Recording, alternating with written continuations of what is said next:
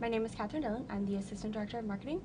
Right now, I have men's and women's soccer, I have women's basketball, softball, and women's tennis. Our attendance average um, for games that are in session is up from recent years, which is nice, but there's still a lot of room to grow with students of trying to get them to support our women's program.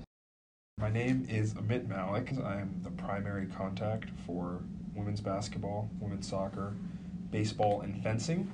They had a huge win uh, against then number 12 Maryland at home. They upset a top 15 team Indiana on the road they are 12 and 2 in the Big 10. They just beat teams they're supposed to beat. It's been a dream season for them. You know, with revenue sports like football and men's basketball, there's always going to be, you know, a greater charge to put people in seats. And I think the money behind those programs is really what drives a lot of athletic departments around the country. My name is John Volk. I'm from Seattle, Washington. I'm a work study intern at Northwestern Athletic Communications. There is certainly a difference between the resources available to each team.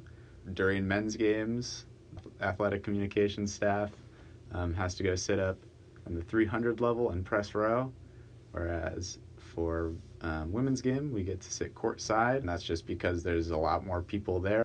So there's there's just a stronger media presence and a stronger presence of staffing in general. This is Kigwe Higuchi reporting on women's basketball for Medill.